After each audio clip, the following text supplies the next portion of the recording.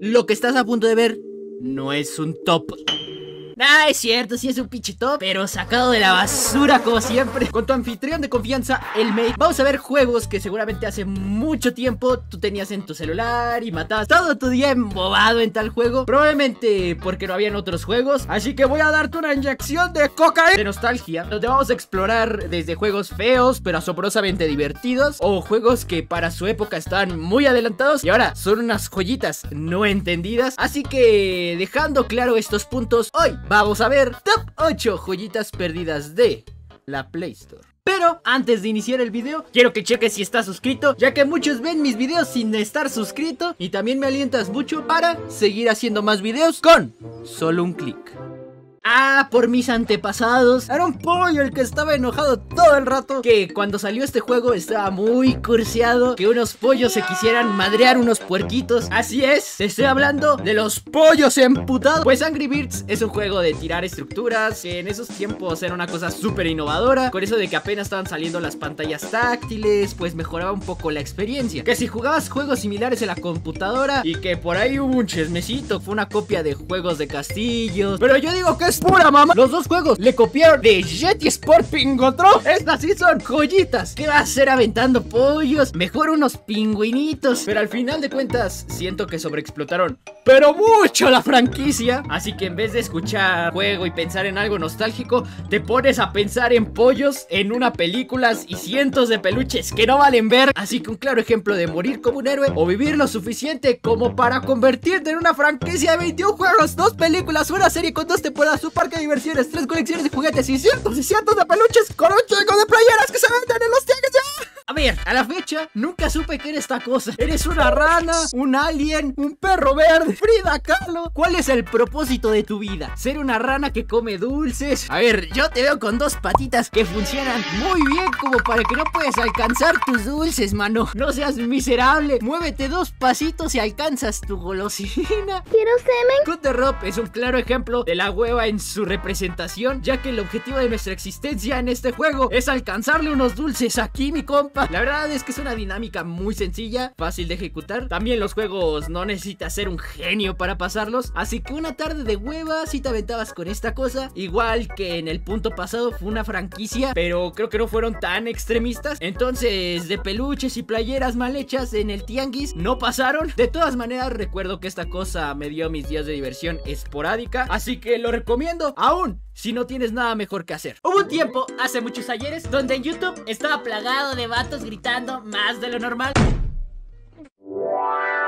Un juego donde tienes que aprenderte todos los patrones de un mapa para poder pasarte así su nivel, donde vas a sacar todas tus canas verdes. Recuerdo que este juego me hizo envejecer al menos 4 años por todas las veces que me hizo enojar, pero al ser fan de este juego, en vez de enojarte por los niveles, te vas a engorilar más por las actualizaciones que las anuncian y tardan dos años en llegar. Por favor, Robtop, te estamos pagando tu hipoteca. Saca dos actualizaciones por el bien de Juanito. Geometry Dash, un juego plataformero de reacción, donde se suponía que tenías que aprenderte todo el nivel a base del ritmo de la música. En su tiempo estaba bien, es un buen juego, pero lo repetitivo que llegaba a ser desesperaba a la mayoría de la gente. Y la verdad, que este güey sea retacaño y no contrate más gente para actualizaciones más rápidas. Aún así, invertiría una tarde de nuevo, pero yo creo que ya no va a darme el mismo gusto que antes. En una época dorada de YouTube, donde decías cosas rancias, homófobas, machistas, y YouTube te lo monetizaba todo, güey. El Happy Wheels, juego con el que conocí a la mayoría de los youtubers con los que empecé aquí, pues se posiciona acá porque a pesar de no ser de todo un juego para celular, a mí me vale ver, lo pongo aquí por mis huevotes. Me trae mucha nostalgia esta cosa y para los que están metidos en una piedra, Happy Wheels era un juego donde podías crear o pasar niveles. Todo era hecho a base de la comunidad. Entonces podías ver locuras muy bien hechas con animaciones y todo el pedo o cosas sacadas de la basura que seguramente hizo un niño por aburrimiento. Es importante este juego porque con este empezó los gameplays que no se tomaban tan en serio en YouTube. En vez de las guías o cosillas así del Call of Duty. Entonces están viendo al bisabuelo de todos los juegos random que ves por puro morbo en YouTube. En un simulador del 2020.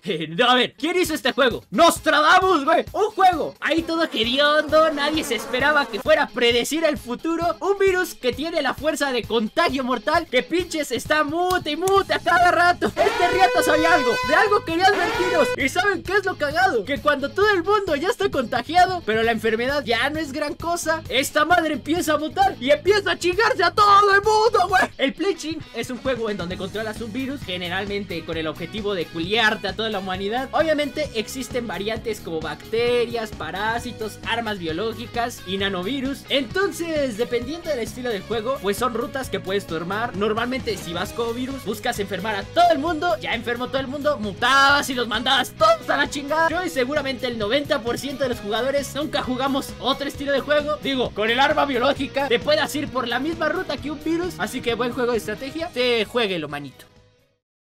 Si tú no echabas la reta con tus compas en el multijugador del POU, hay de dos cosas. ¿Estás bien chamaco y tú conociste de Clash Royale para enfrente? O seguramente tú sí tuviste novia en secundaria. A ver, quiero recordarles que este juego es tan viejo que cuando lo jugaba con mis camaradas teníamos que hacerlo por Bluetooth, güey. Porque en ese tiempo tener internet en el celular era cosa que solo los ricos podían pagar.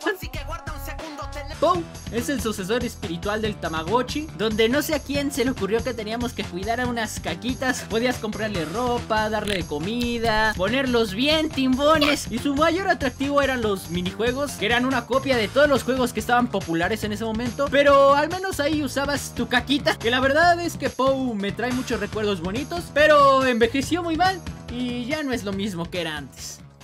De verdad tuvimos suerte, gente. Que esta porquería se haya olvidado tan bien al presente. Porque un día tan bien hambriento habría hecho que este juego fuera una franquicia. Y lo peor es que seguramente en su momento habría tenido gente que lo apoyara. Me acuerdo que también ya le estaban sacando su ropa en los tianguis, todos miados. Que ya había empezado a vender peluches. Estaba ante mis ojos. Si no era un signo del apocalipsis, sabía que si esa porquería terminaba en franquicia, Diosito nos iba a mandar unas asteroide para que ya todos nos muriéramos.